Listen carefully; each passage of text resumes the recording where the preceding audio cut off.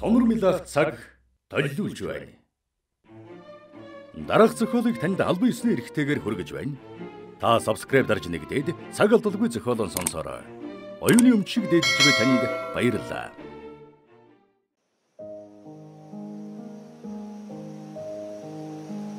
Зохиолч Алтан туул Нүцгэн дуйл 2 дугаар дэвтэр. Зохиолыг уншсан Мэнд жаргал эм Батмагнаа. Тав.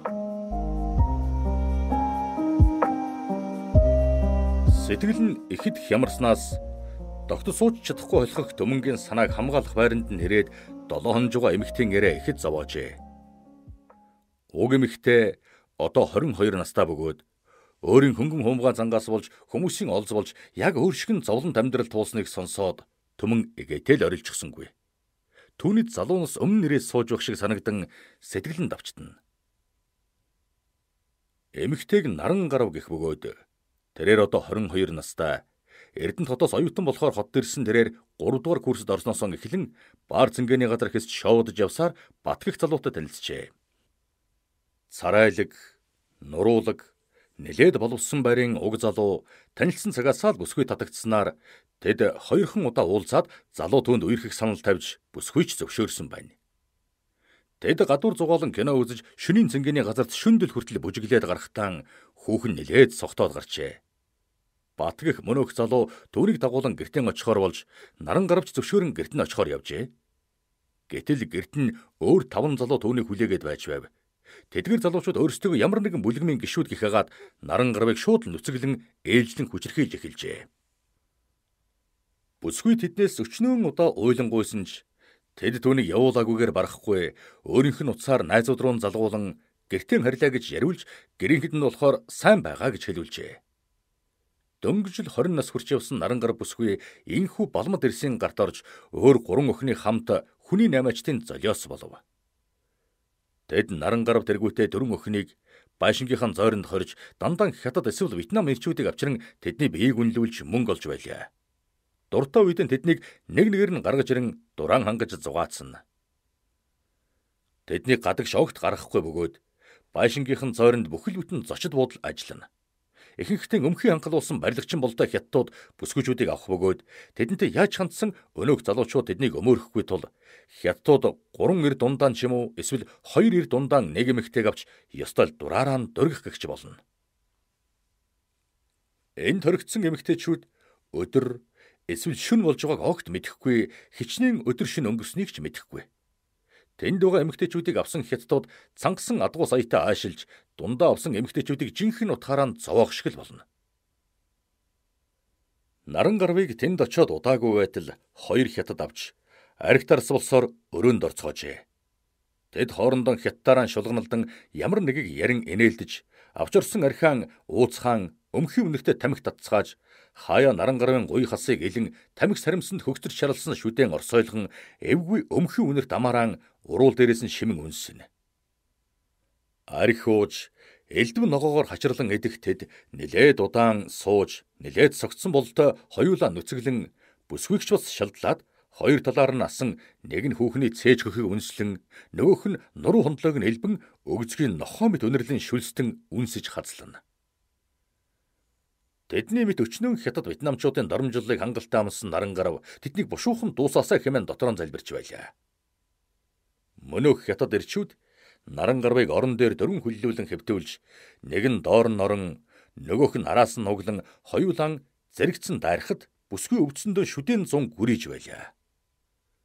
Бүсгүй нууцын оронг ураа тайчихв гэлтэй эзэрхийлнэ.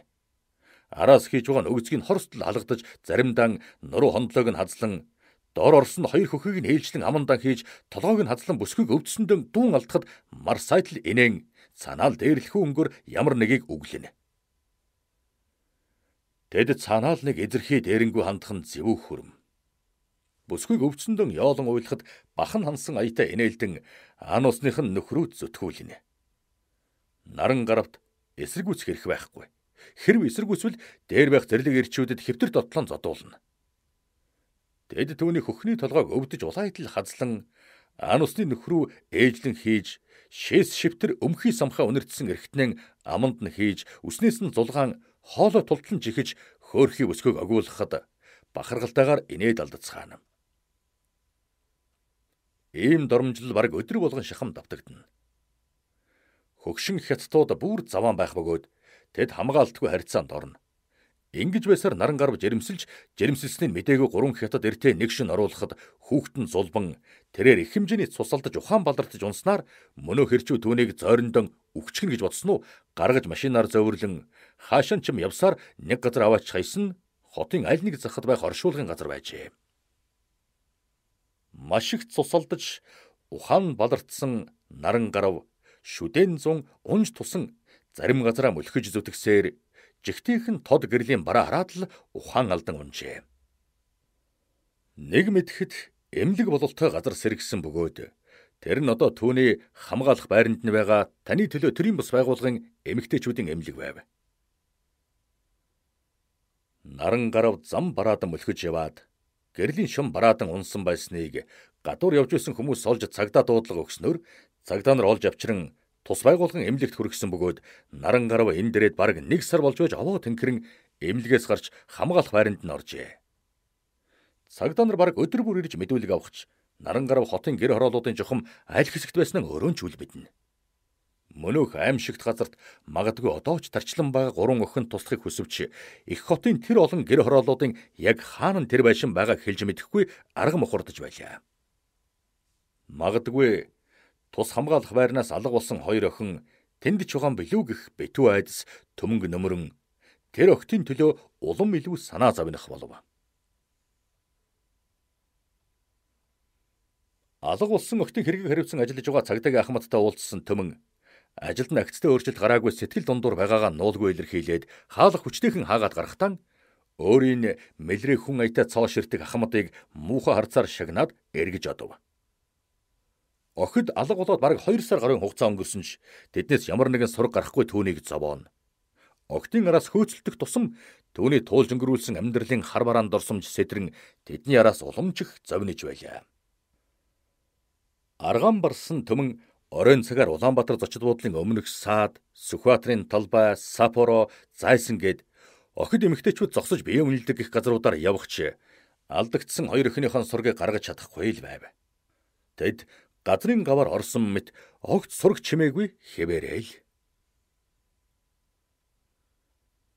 Цагдаагийн газраас хүн наймайлах гэмдэргийн ард нуугдаж уг гэмдэргийг зохион байгуулж байгаа нууц эзэдийн эсрэг сарын аян зарлаж машинуу зарг хэмжээ зохион байгуулах болж багийн ахлагчаар Ахмад Батныг томилогдов.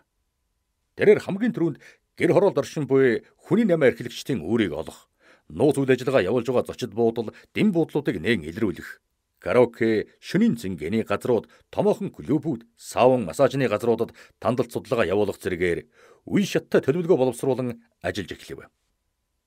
Хохирогч бүсгүй наран гарвын мэдүүлснээр анх түүнийг Батгах этгээдтэй танилцсан шөнийн цэнгэний газар түүний ойр орчмын баар, зочид буудал цэнгэний газруудад онцгой анхаарал хандуулж, ажиглалтын баг байрлуулж тандалт явуулахаар хэд хэдэн залуухан мөрдөгч эмэгтэйчүүдийг зүс ховлгон цэнгэний газруудад байрлуулж байлаа уг ажиллагааны хүрээнд биеийн хамгаалах чадваргүй согтсон шүн өрөөнд цагаар ганц нэгээр яваа эмэгтэйчүүдийг олзлон бусдын биеийг хүчээр үнэлүүлдэг хэд хэдэн жижигхэн бүлгэмийг олж илрүүлэн хохирогч болсон эмэгтэйчүүдийг давхар эрен хаах ажиллагаа явуулж эхлэв. Тэдгэр бүлгэлүүдийн иргэшээлд орсон эмэгтэйчүүд тэдний сүрдүүлгээр бусдад зарагдаж нэг шөнийг өнгөрөөгөөд эсэн мэнд гэртэн харидагч эргээд хууль хүчний газар болон өөрсдийнх нь эрхийг хамгаалах ямар нэгэн газарт ханддаггүй нь охид бүсгүүчүүдийн эрхийг цаашид маш ихээр зөрчих нөхцөлийг бүрдүүлж өгдөг ажээ.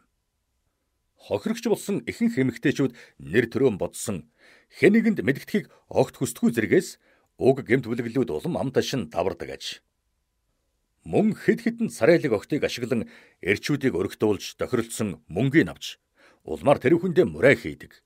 Ганц нэгээр явж байгаа мөнгөтэй эрчүүдийг өргөтөн харанхуй газар аваачиж дээрэмддэг хэсэг залуучуудыг мөн баривчилжээ.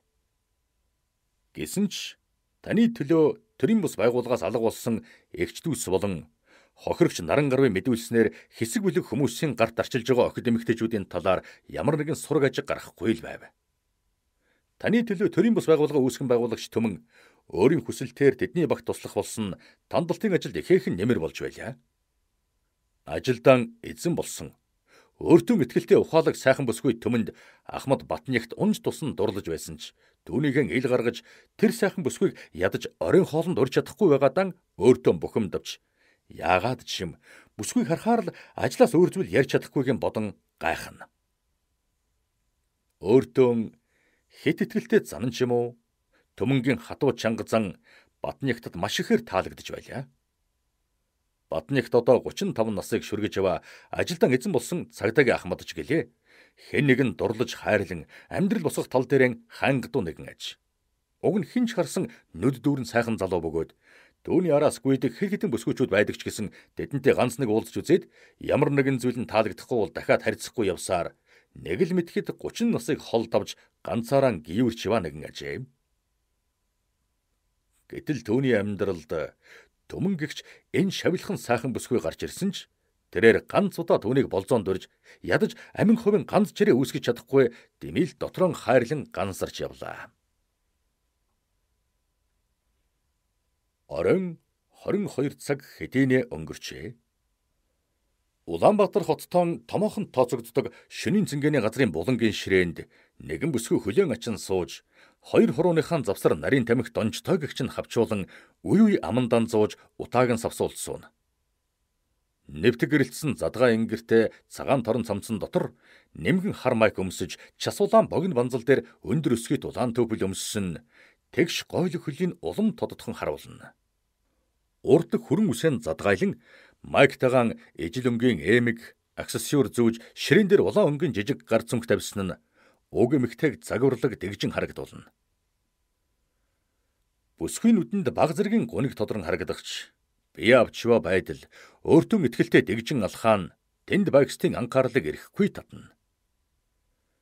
Ширээн дээр хоёулан сууж байгаа болтой хамтран суугч нь эмэгтэй хүн гэдгийг тэдний ууж байгаа улаан дарс амттан самар зэрэгээс тодорхойлж болохоор байв. Уг бүсгүй төмөн агаад цагдаагийн тандалтын баг торон ажиллаж шинэхэн мөрдөгч бүсгүй тунгалагтай хамтран энэ шөнийн тандалтыг хийж байгаа нь энэ ажээ. Төмөн өмнөх улаан дарсан баг багаар шимэн ууж тэнд багстыг сэмхэн ажиглана. Эсрэг талын ширээнд гурван эрэгтэй суух бөгөөд тэд өөрийн элд шохоорхсон сонжсон харцаар харан суугаан түүний анхаарлыг өөрийн эрэхгүй татан эрчүүдийн өлөн харц өөр дээр нь тусч байгааг мэдэрсэн төмөнгийн ар нуруугаар могой гулсах мэт хүй төргөгч тэрээр ажилдан эзэн болсон туршлагатай сэтгэл зүйчин хуваар өнөө хэрчүүдийг дотроо нь тодорхойлж хөнгөн инээмсгэл нүүрэндээ тодруулан хэнэггүй царайлсуулаа. Тэдгээр эрчүүд өөрийн болон хамтрагч нь илч шохоорхон хоорондоо шивэр авир хийх нь төмөнгийн хурц харснаас мултарсангүй. Хэсэг суусан төмөн тэдний шохоорхолыг улам дэврээхээр шийдэн босч бүжгийн талбар руу алхахтаа нурууган хоц хоц хийлгэн өгзгөө хоёр тийш нь нүлэн мэдэг шидэн алхах нь түүнийг хөнгөмсөг эмэгтэй мэт харагдуулна. Уг нь насаараа бол 40 насыг шүргэж явааж төрөлхийн гоо сайхан өөртөө ихтгэлтэй бардам төрхөн түүнийг 20 хэдтэй мэт харагдуулна. Залуусын нэг ширээнээс босож бүжгийн талбайд бүжгэлж байгаа төмөн чиглэн алхахад холоос ажиглж суусан Ахмад Батнягт согтуу мэт говьлон мөн л бүжгийн талбайг чиглэв. Мөнөөх залуу төмөнгийн урд хойн орон бүжгэлж байснаа гинт төмөнгийн бэлхүүсээр тэрэн бүжгэлэхэд бүсгүй дэвгүй байсан ч гэсэн өнөөдрийн зорилгоо умартаагүй бүсгүй баг зэрэг айлгуйтан гарын даган налав. Чи хөөх юм а сайханж бүжгэлэх юм. Баярлаа. Чи ч бас сайхан залуу юм. Өө баярлалаа. Өөртөө ч танилцч болох уу? Асуух юу бахав дээ. Ийм сайхаар намайг тоож байхад чийл харин намайг тоохоргүй сайхан бүсгүй байна. Миний нэрийг Бат. Намайг туя. Төмөн тандалтын багт орсноос хойш иймэрхүү ирчээтэй өчнөө танилцж үг сольсон ч гэсэн Бат гэдэг нэр онцгой санагдан тэрээр дотроо бараг л уулгалав. Наран гаравтай анх танилцсан залууг Бат гэж байсан түүний санаанд илхэн ажээ. Залуу түмэнтэй эйлэг боловсон харьцаагаад төмөн хинтээ явж байгааг сонирхон найзынх нь хамт ширээндээ өрж төмөнч хүслээр нь болгон тунга тэр хоёр бат болон түүний найзуудын ширээнд очиж суув. Эрчүүд бүсгүйчүүдийг согтууруул хундаагаар шахан өөрсдөө бараг уухгүй байгаа нь ажиглагдана. Бат гихч тэднийг хаана хин хинтэйгээ амьдардаг, ажил хийдэг эсэх, найз залуу нөхөртэй эсхийг байн байн лавлан асуухад Төмөн өөрийгөө ганцаараа байр хөлслөн амьдардаг, ажилгүй, гадагшаа явахаар хөөцөлдөж байгаа. Ардаа ямар нэгэн татлаа түтлээгүй хэмээн танилцуулж харин тунгалаг хөдөөнөөс ирсэн төгсөх курсын оюутан найз залуугүй сургуулийн төгсөөд хотод амьдрах гэж байгаа. Хямдхан түрээсийн байр хайж байгаа зэрэгээр ярихад эрчүүд хоорондоо сэмхэн хард солилцож дохио зангаагаар ярилцаж байгаа нь тэдний нүдэнд харагдаж байлаа. Нилээд суугаад төмөн согтсон дөрвзүүлэн сандлаа налан унахад Тунгалагч мөн адил нэлээд цогцсон дөрөв зүйлэн тас тас хөхөрч тэдний өгсөн согтууруул хундааг огт тавилгүй уугаад өгч байлаа. Эмэгтэйчүүд энэ дэрэгтэн нэлээд бэлтгэлтэй байж согтууруул хундааг саармагжуулах эм хэрэгэлсэн нь тэдэнд маш их хэрэг болж байлаа. Бүсгүйчүүдийг согтсон гэдэгт итгэсэн эрчүүд тооцоогоо хийгээд тэднийг нэг нэгээр нь сугдан гаргахад Батнягт болон түүний нөхөд сэмхэн даган гарлаа. Төмөн чихэндэн зүүсэн сонсох төхөөрөмжин ажилуулан тэдний яриаг бичнэ. Тэд бүсгүйчүүдийг олз гэж нэрлэн хоорондоо ярих бөгөөд шууд очоод ажилд гаргана гэж ярилцах нь бичигдэж үлдэв. Залуус тэднийг машиндан суулгаад хотын баруун захыг чиглэн давхихад цагдаагийн ажилчид тэднийг алдалгүй дагаж байлаа. Тэд явсаар том блокын хашааны өмнө зогсож хоёр бүсгүйг нэг нэгээр нь өргөн мөрлсөн хоёроор дотгошон орж Батхимэх мөнөх залуу эргэн хотын зүг давхилаа. Цагдаагийн ажилчид Батнягтын зааснаар байрлалан эзэлцхэн дохио хүлээнэ. Хоёр эрд нэг нэгээрээ мөрлүүлсэн төмөн тунгалаг хоёр согтууд өр үзүүлэн явсаар додогшоон орж явчихад төмөнгийн дотор давчтан цагдаагийн бүрэлдэхүүн ямар нэгэн зүйл болохоос өмнө амжиж ирэхгүй бол яана гэсэн битүүхэн айц давтагч эдгээр эрсийн гарт өртөн зовж байгаа эмэгтэйчүүдийг суллаж авна гэдэгтэн итгэлтэй байлаа. хоёр давхар том байшингийн үүдээр орсон тэд бичил бичигчээр байшин доторхыг бичсээр явв. Эмэгтэйчүүдийг шуудхан зорны давхарт оруулсан мөнөөх хоёрээр тэднийг нэг өрөөнд оруулаад өргөн буудан дээр бараг шидэх мэт тавиад эргэн гарахтаа гаднаас цоож харжиг нь болон төвчхийг хоёр эмэгтэй сонсож байв.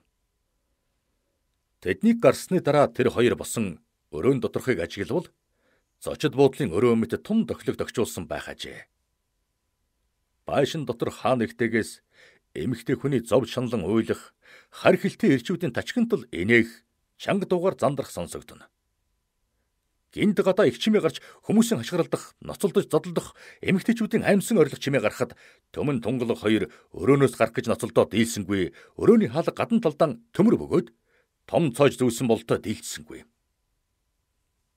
Гадаа хэсэг түчгэнж байснаа Чимээгүй өрөөний хаалгыг гаднаас хүнд юмар цох сонсогдож байснаа онгооход Батнягтын өрхөн царай харагдаж төмөнгийн дотор онгоох шиг болов.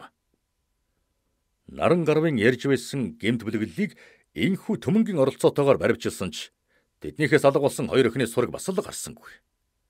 Тэнд нийтдээ долоон эмэгтэй хэсэг бүлэг балам залуусын гарт тарчилж Монгол оршин сууга барилгачин, засварчин хятад Вьетнамуудад зарагдан зовж байсныг инхүү суллаж гэмт бүлэглэлийг илрүүлв. Хүн худалдаалах гэмт хэрэг илүү нууц орчинд илүү зохион байгуулалтаагаар улам газар авсныг төмөн аимсан харж байлаа. Харж хандах хүнгүй эсвэл ядарсан айлын хичнээн олон охид бүсгүйчүүд эдгээр гэмтнүүдийн гарт өртөж зовж тарчилж амьдралаа цаашлаад амнасаа сүйтгэлж байгаа бол гэхээс төмөнгийн сэтгэл өвдөн. Тэр тэдний өмнөөс дарчлан зовж байлаа. Жаргалын бие өдрөөс өдөрт дордох тул галт ээжигээ аваа солонгос улсыг зорихыг хүсэж байсан ч эмчилгээ хийлгэх мөнгө гүйцээгүй учраас яаж чадахгүй дэмийл тарчилж байлаа. Шөнийн цагаар ажилдаа гарч гарах тоолондоо ямар нэгэн байдлаар байнгын согтууруулахундаа хэрэглэх болсон галт ээж дээрэн очихоос эмээн шүрэн жаргалыг эргэж тойрон асрах болж галт харин эмчлэг шимчээс нь ээжийнхээ биеийн байдлын талаарх мэдээллийг цаг тухай бүртэн авч байлаа галтын төлөвлөснөөр нэг сарын дараа Солонгос улсыг зорих байсан ч жаргалын биеийн байдлаас шалтгаалan яв хугацаа наашилж цаг давчуу болсон тул галтч тэр шүрэнч тэр сэтгэл зовнцхон их хэмжээний мөнгө олох гарц гаргалгаа хайж эхэлцгээв.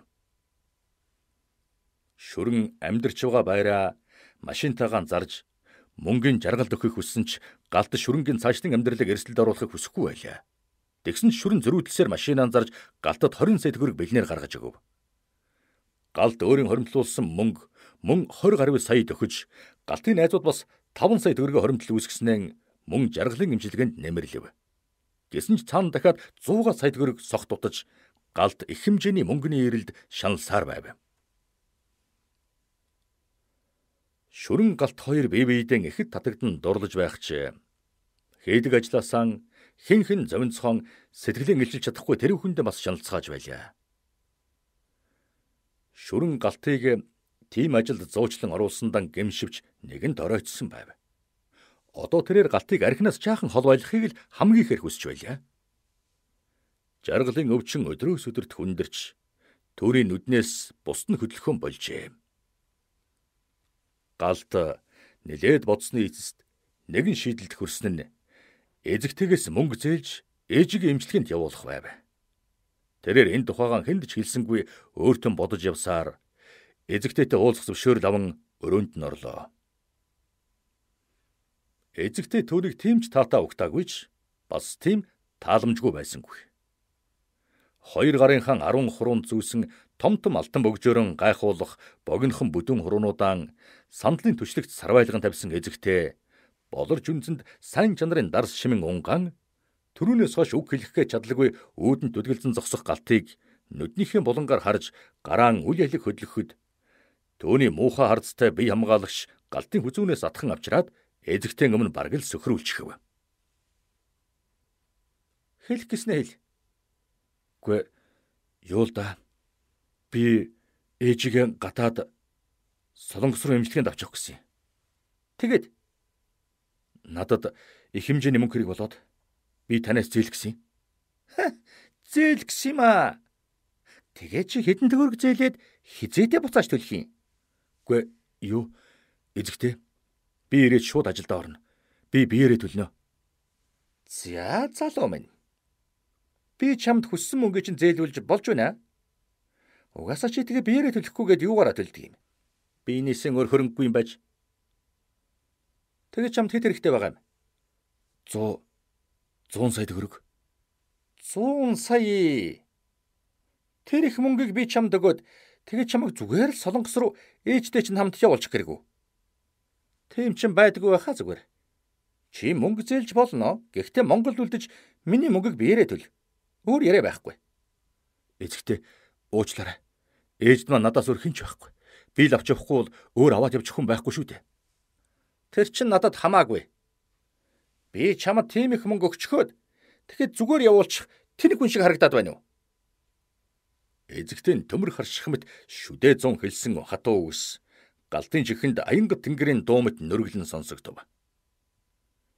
Төвний муухай арцад туслах галтын мөрнөөс базаад өрөөнөөс гарган түлхэхэд тэрүүхэндээ говьа тогтсон галт эзэгтэн хүнийг өрөвдөхгүй мөсмөд хүйтэн сэтгэлд даарах шиг болж мөрөө хавчин хөгшин хүн шиг бүхтийсэр буудлын кэр дороор бөөвөгöd явлаа. Би явахгүй бол ээж минь хэн авч явах вэ? Одоо яах вэ? Ээжийн маань эмчилгээнд мөнгө хэрэгтэй. Мөнгө олдлоо гэтэл ээжийн минь авчих хүн байхгүй. Яавал дээрэв. Гэсэн бодол дороогдсон хэсэг хөлгсөн галд нэгийг сэт болдоо ухсхийн гарчгүй лээ. Тэрээр буудлаас хараад шуутгал шүрэнгийн дугаар залган уулзах газраа болцоод цааш хурдлангүйв.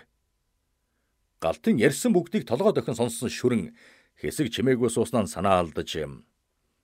Уучлаарай галт минь. Чамааг ийм байдалд оруулдаг миний буруу. Би анханасаа л чамайг тэр ажил зуучилдгүй байж. Үгүй дээ чи юу ярина вэ? Хэрвээ чи намайг тэр ажил зуучлаагүй бол би ээжигээ эмчилгээнд явуулах мөнгө олж чадахгүй шүү дээ. Би харин ч баярлж байгаа. Чи юунда баярлаг тэнэг вэ? Эцэгтэй бол аимшигтэй хүн. Тэр яхаас ч боцохгүй, хүн алхаас ч сийхгүй. Одоохондоо чи тэрэнд мөнгөний машин чи боддоо Жимс шинхэн тэрэл сайхан байдаг. Хуучаад ирэхээр дотроосоо ч тэр гаднаасаа ч тэр илжирч муудаад идхий харахгүй болдог үсттэй. Чийч тэр бич тэр энд ажиллаж байгаа хэн ч гэсэн бүгд эзэгтэй додоохондоо яг тэр жимс шиг л байгаа байхгүй юу? Чи юу ч мэдэхгүй байна да. 1 жил, 2 жил, магадгүй 3 жилийн дараа бидний хэн ч эзэгтэйд хэрэггүй болно. Царай зүсэх гунд нь ажилдаа хуучрна. Тэр үед яах вэ гэж чи бодж үзсэн үү? Шууд үхэл.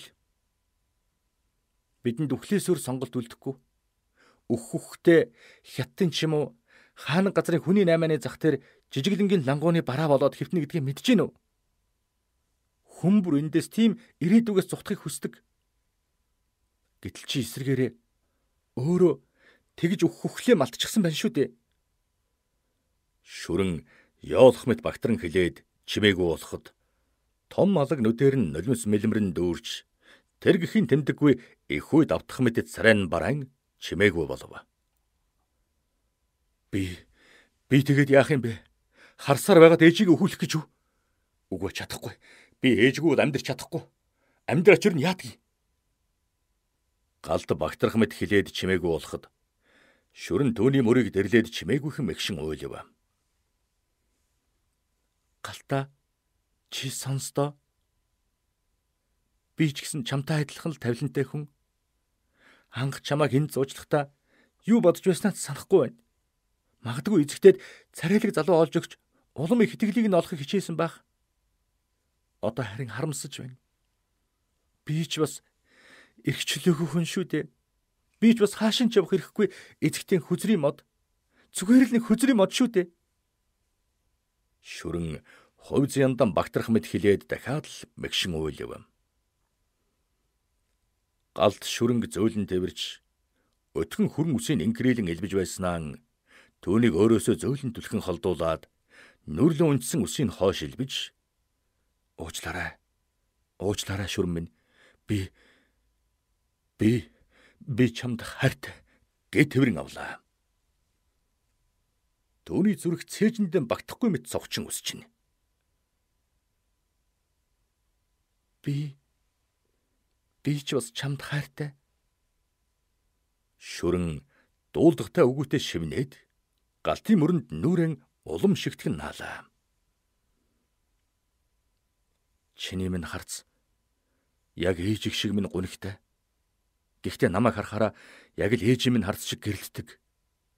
Би Энэ хөөрхөн харцыг байн гэрэлтүүлмэр байна. Бас бас чамайг дахиж зовоомооргүй байна. Тэгэхэр шүрэн би тэр мөнгийг эзэгтэйгээс авна. Тэгэд ээж та хоёроо ямар нэгэн аргаар Монголоос явуулна. Харин чи минь миний өгсөн мөнгийг аваад байрaan зараад ээжим навч имчилгээнд яв. Тэгэд битгий эргэж. Би чадвал нэг сарын дараа, үгүй бол хоёр сарын дараа араас ч очино. Тэгэд гуруула тэнд хэсэг амьдрий. Яаж Яаж идэхтэй гараас гарах юм? Тэр чи аимшигтэй хүн. Үгүй дээ шүрэн минь. Мэдээж тэр аимшигтай л та. Гэхдээ тэр бүх зүйлд хүрч чадахгүй. Тэрний хүрээл өндөрч гэлээ тэр бүгдийг мэдэхгүй дээ. Эхлээд би та хоёрыгаа явуулна. Мэдээж эзэгтээд ээжиг явуулах гэж байгааг хэлнэ. Гэхдээ чамтаа явуулж байгааг тэр мэдэхгүй. Чи харин миний ээжийн дүүгийн нэрээр хэл гарна. Би зохицуулна. Гээд галтын нүд яг л бүхнийг бүтээчгээд ээж шүрэн хоёроо нисэх буудал дээрээс үдж өгч байгаа хүн шиг ялцахад шүрэн нэг их баярлав. Шүрэнгийн хэлсэн үнэн байлаа. Эзэгтэй бол аимшигтай хүн. Тэрээр томоохон зочид буудлын эзэн дүртэй түүний дотор маш олон эрхэтчидвэ. Бас тэрээр маш олон хүний хувь тавилангаар тоглож олон ч хүний хүний наймааны золиос болгосон нэгэн. Нэг ёсондоо түүний тойрогт хинэгэн орсон бол Тэр тойргоос өөрийн дураар гарах хинч байдгүй байлаа. Төвний нэр аюултай гэмт хэрэгтний жагсаалтад байхгүй ямар нэгэн байдлаар цагдаагийн газарт муу төвхгүй ч гэсэн тэрээр маш аюултай хүн байлаа. Шүрэн түүнийг бурхан дүртэй буг гэдэг байв. Түүний мэдлэлд маш олон охид бүсгүйчүүд байдагч тэдний дундаас гоо үсгэлэн адтай сэргэлэн зангараа шүрэн ямагт ялгарч нэг ёсондон шүрэн эзэгтэн хөзрийн нууц мод байлаа. 14 наснаас 27 28 нас хүртэлх маш олон охид бүсгүйчүүд тэм насны хөвгүүд эрчүүдийг тэрээр буудалдан байрлуулан биеийг үнэлүүлж тэдэнд тодорхой хэмжээний мөнгө өгдөг ч гэсэн тэдгээр охид бүсгүйчүүд эрчүүдийн ирээдүй даанч бүрхэг байгааг шүрэн л харж чаджээ. Шүрэн эзэгтэн хэд хэдэн аимшигт гэмтэргийн нууц гэрч байлаа. Тиймээс тэрээр эзэгтэйгээс маш ихээр айж түүний хэлсэн бүгдийг биелүүлдэг учраас Эзэгтэй түүнийг гадуур сул чөлөөтэй явуулж мөн шүрэнгээр царай зүс бие бэлтэр сайтай эрчүүдийг олуулан галтын нэгэн ижил замд их хэмжээний мөнгөөр өргөтөн оруулдаг байлаа. Эзэгтэн хүрээлэл томорч үйлчлүүлэгчид ихсхийн хэрээр түүнд ажилдаг бие үнэлэгчдийн тоо нэмэгдэж байв. Гэсэн ч өөрт нь гай тарих хэнийг нэг эзэгтэй ямагт замаасан зайлуулсаар иржээ. Галтан мэтийн царайлаг чадварлаг хэрнэн ардаа ямар нэгэн татлаа багтаа залуус эзэгтэд маш их хэрэгтэй байлаа. Тэд түүний мөнгөний их усүр нь болж байв. Эзэгтэн байрладаг өрөөнд орж хүрл хөшөө аятай хүйтэн царайлан сууга эзэгтэн өмнө лүг хитл өвдөглөн суусан галтыг эзэгтээ хүйтэн гөлгөр нүдэрэн хялан харав. Эзэгтэн хоёр талд хоёр жаахан охин сөхрөн сууж бүдүүн пагдгар хөлийн базлан нилээд бадруун залуухан эр хой талд нь зогсож түүний ив хавгүй намхан пагдгар нурууг ээлж таалан масаажлана богинохон баливгар хурууныхаа завсар тамхи хавчуулан үе ямандан зууж утааг нь хаашааш үлээх эзэгтэй хурцхар нүдэрэн галтыг өрөмдөх мэт ширтэж сөнг бүдүүн хоолоогоор юу болов? Хэмээн хайнгад асуухад. Галд эзэгтэн өлмид сөгдөөд эзэгтэй минь надад туслал та ээж маань хүнд өвчин тусаад өхлийн ирмэгт байна гэд нулимс цэлсэн нүдээр өрөвдөлтөй ширтгэд нь би ямар эмчүү эсвэл өвцнийг босгодог бурхан уу Өвдсөн үнтэйгээ би яа тусалж чадах вүлээ дээ хэмээн хөндөй дугаар хэлснээр нуруу хүзүүг нь базлах залууг болгож дохиод хүзүүгээ шилгэлээ. Би ээжигээ гадаад руу эмчилгээнд явуулах гэсэн. Тэгээд тэгээд танаас тусламж хүссэн юм л да. Та надад мөнгө зээлэж. Надад маш их хэмжээний мөнгө хэрэгтэй байна. Эзэгтэй санаанд багтамгүй хахир чангаар хөхөрснөө гинт царайгаан төв болгон хүйтрүүлж их хэмжээний мөнгө зээлхий. Бигээс би бэлчих бөөснөөс өөр хөрөнгөгүй чамд их хэмжээний мөнгө зээлвчгэд би юугаа буцааж авдаг юм? Галт асар их доромжил гутам шиг амссаар машин уцлаг гэрээхийн эзэгтэйгээс 200 сая төгрөг зээлж авахар болоод гарлаа. Эзэгтэй түүнд ээжийнхээ бичиг баримтыг бүрдүүлэн нисэх бодлоос өдөж өгөх хүртэл 14 хоногийн хугацааг 200 сая төгрөгтэй өгөөд маш нарын гэрээ хийж үүнийгээ баталгаажуулаад авч үлдэв. Галт түнд өөрийн биеэн тэр чигт нь худалдаж орхижээ. Ээжийг явуулсан өдрөөс эхлээд тэрээр эзэгтэй зочид буудалд байрлаж түүнээс зээлсэн их мөнгийг гаргаж өгөхийн тулд өдөр шөнөгүй ажиллах ёстой. Бас эзэгтэй даалгасан ажлыг цаг тухай бүрт нь хийж хэндэж ямар ч нөхцөлд ам алдахгүй байх үүрэгтэй. Эзэгтэй түнд ямар ч ажил даалгаж болно. Бүр хүн алахыг өргөцсөн ч галт дуугүйхэн биелүүлээд чимээгүйхэн байх ёстой. Бас түүнийг худалдаж авсан эр, эм, хөгшин залуу хэндэж хөгжлийн цэнгэл эдлүүлж дээд зэргээр жаргаах ёстой. Хэрв ажиллаа хийж угаад санамсаргүй тохиолдолд осол нэмэл гаргавал шууд эд эрхтний донор болно. Өөрөө ч түүнийг хүлэн зөвшөөрөн гэрээсэл бичиж гарын үсгийн зуран эзэгтэй тадгалуулаад гарлаа. Хэрв хэлсэн үгнээсээ буцах хэн нэгэнд гин алдах юм бол миний гар хэр урт сунахыг хараарай. Зөвхөн чамтай ярихгүй. Ээж чинь ч бас өртөх болно шүү. гэсэн эзэгтэн зүрх зүсэн муухай дун одоо ч чихэнд нь хадна. Ямар тач ээж шүрэн хоёроо Монголоос эсэн мэнд гаргаж Солонгос руу явуулах дараа нь өөрөө ямар нэгэн аргаар араас нь явах арга зам сөвгчлсээр галд нэлээд ажил амжуулахар хөөсөлдөж эхэллээ. Тэрээр эзэгтээд ямар нэгэн байдлаар тал алдахгүй тулд ихэд болгоомжтой хөдөлж байлаа. Шүрэн аль болох гин алдахгүй тулд хэрээрээ чармайн эзэгтээд бүхий л боломжоор нь тусалж байв. Эзэгтэн хэдэн жилийн өмнөөс өөрийн болгохоор улайрын хөөсөлдөж байгаа албаны урд газрын зөвшөөрлийг авч хүндхэн даалгавар шүрэнд оногдож түүнийг ихээхэн бухимдуулж байлаа. Нөлөө бүхий том газрын дарга буд гаднаас нарахад эрдэн боловсролтой тогтсон гэр бүлтэй хөрөнгө чинээтэй хүн тусрах уу нөлөө бүхий эрхэмжиглээ. Сайхан бүсгүйчүүл нугасгүй хүүхэмсэг эргэдгийг нилээд судалсан эзэгтэй өөрийнх нь хөзрийн тамга болсон ихтгэлтхэн шүрэнгэн өмнөө нь тавьжээ. Эзэгтэн тооцоолсноор болж бууд дарга шүрэнг өвөртөн оруулахын тулд бүхий л арга саман хэрэгжилж байв шүрэн эзэгтэй төлөвснөр хөдөлж бууд даргаыг араасаа нэлээд явуулаад яг эзэгтэй үед өвөртөн оруулан орд газрын зөвшөөрлөөр гарын үсэг зуруулах ёстой байлаа. Солонгос явах цаг хугацаа улмал төгсөөр. ямар нэгэн байдлаар эзэгтэйгээс салах арга зам шүрэн эрэлхийлнэ. Гэтэл эзэгтэй төлөвлөсөн цагч болж шүрэн буд дарахтай түүний товлсон газарт уулзахаар болов. Дээрийн зочид буудалтай чамин ресторанд шүрэн оройн зоогонд урьсан буд түүнийг өнөөдөр л өвөртөн оруулахаар хэрээрээ хичээнэ. Шүрэнч өөр дөмөрхөөсөн арай уян налархаа байж Баясгэд л түүний мөрийг налан унаж найлан хайтна. Бууд бүсгүй өмнө хайлсан дуглах шиг байж түүний хүслээр үнтэй вискинээс хэд хэд татаад авлаа. Аль хэдийн хундагтай вискинд нь холсон дур өдөөх эм нөлөөлж түүний болдгүй бор өмдөн дотор өндөлсөн болдог бол өөртөө хамт хоолн сууга энэ жаахан бүсгүйг яг энэ хоолныхын ширээн дээр дараад авмаар санагдана. Гэвч нэр нүрэн бодон яаж чадлагүй дорон хавчихна. Шүрэн юу л гэнэв бүгдийг биелүүлэхэн илэрхийлэн байн байн өгөн завсран хавчуулан гагцгүй түүнийг хамтдаа дээшээ гарч нэг өрөөнд орохыг л ятгаж байлаа. Шүрэнч гаднаас барьж орж ирсэн жижигхэн хавцтай зүйлийг будын өмнө тавьж түүний өдөрдөж байгаа газарт гайгүйхэн албанд ажилд орох сонирхолтой байгаагаа илэрхийлэн гарын үсгийг гуйхад будад уртаяа зөвшөөрөн гарын үсгийн зурхаар хавцыг сөхөхөд Шүрэн түүний хажууд суун чихийн эрвгнүүлэн амьсгалж хүзүүгэн зөөлөн үнсэн нэг гараараа гуйн дагуулan илснэн дөрүүнээс хойш гантайдал босчоод зовоож байсан эргэтний өмдний гаднаас зөөлөн илж бошуухан зурж хаад тийшээ гарах уу гэж нялуурын шивнэхэд хамаг анхаарлаа шүрэн тандуулсан бод харж нягтлсанчгүй цаасан дээр гарын үсгийн парвайлган зураад хүүхний цэцгийн дэлбэмэт улаахан уруулыг шунаглан оцоод дээш зочид буудалд орохоор яарвчлан өндийлөө.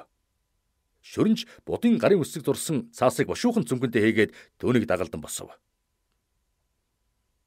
Өгзөг хонгойн базлан байсгэдэл архины их хүн үнэр хангалсан амааран уруулын шимэн үнсэх ахимаг насны тарган эрээг жигшиж байсан ч гэсэн ашгүй эзэгтэй даалгасныг амархан биелүүлж эхлэе. Энэ шүн миний шившигт амьдралын хамгийн сүүлчийн шүн. Би дахиж хизээч мөнгөний төлөө биеийг үнэлэхгүй бас хайргүй хүнтэйгээ унтахгүй хэмээн дотроо тангаргалж бие барин инээмсэглэж явлаа. Бууд аль хэдийн буудалд өрөө захиалсан байсныг шүрэн дээшээ гараад л мэдэв. Өрөөнд оронгуудаа буд шүрэн хумын тэрч хүүхний уруулыг сорон үнсэж хүүхний хувцсыг таачинган Төвний ургиж төрсэн хоёр хөхийг ээлжлэн үнсэж, шүлстэн, хүзүүгэн шимэн өвтгөж эхлэхэд шүрэн "Байцал та эхлэж яах юм ууж тайвшръя л да" хэмээн нялундуу дуугаар хэлбэл бууд түүнийг тоосончгүй үнсэж өнгөлсөөр унтлагын том орон дээр түлхэж унгаад шуутхан тараад авлаа. Байдгараа уугчин дайрах том биетэй тарган гэрийн хүнд нүсэр биеийн дор хаашаанч хөдлөх аргагүй дарагдсан шүрэн нүдэн тос ханиад нэгэн тэрх учрлыг хүлээн бие суллав. Буд хүүхний дотоожийг шутатан тайлж хамартан хөргөн шунаг гихч нь өнөрлөхөд шүрэнгийн дотор муухарын бас ч санаан завнын буруу харлаа. Бууд харахад соёлтой боловсон нэгэн хэрн сексийн тал дээр хэвэн бус гэдгийг шүрэн хийж байгаа үйлдэлээс нь хойлгон нэгэн шөнийг яаж өнгөрөндөө гэх айдст битүүхэндээ автаад байв.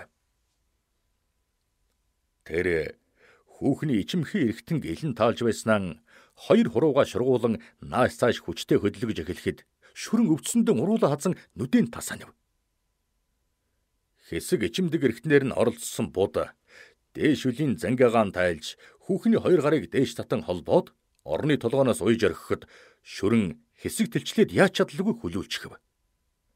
Хүүхнийг хүлчгээд янцэглэн сууж хамаг хувцаан тайцсан будын том гэдэс урагш төрөн цээжийн төрөн түлхэлцэл амьсгаатах нь ямар нэгэн үлгэрийн эсрэг дүр шиг инээдтэй харагдана. Бууд хүүхний хүзүүнээс доошлуулан шүлстэн үнсэж долоон хоёр хөхөнд нь нүрээ наан толгойг нь өмхөлж хөхөн тэгснээ зөөлөн хадалж аажуухан доошлон үнсэж долоосоор ичимдэг эргэтэнд нь тулж очсноо хэлүүг нь эргэнүүлэн долоож хөхөж дотор нь хөлийн оруулан хөдлөж эхлэхэд шүрэн өөрийн ирэхгүй гиншин дуу алдав. Буудаг хүүхний нүүрөөд харан хөхөж долоож байснаа гантайтал боссон бүдүүн бор эргэтнээ ичимдэгт нь тултал оруулан хэд бүлээд тавьж орхилоо. Тэгснээ өөрийн дурын шингэнээ долоож эхлэхэд шүрэн золтой л агуулчихсангүй. Бушуухан босоод явахыг хүссэн ч хүлээтэй гарan саад болж Үрийн шингэнэн долоох мунагэрийн хүсэл дачаал дахиад оргил болдоо хэлвгэн зөөлөн зөөлөн хазалж эхлэхэд хүүхэн дахиад л яаж чадлагүй сулхан гиншилээ. Энэ удаад будын хийж байгаа үйлдэл ширвсэн хэлвг нь үнсэн долоож байснаа ихэд хүчтэйгээр сорон хөхөж хазлан өвдгөж эхлэхэд шүрэн болилдоо өвдөж штэ гэж хичнээн учирлаад ч нэмэр болсонгүй.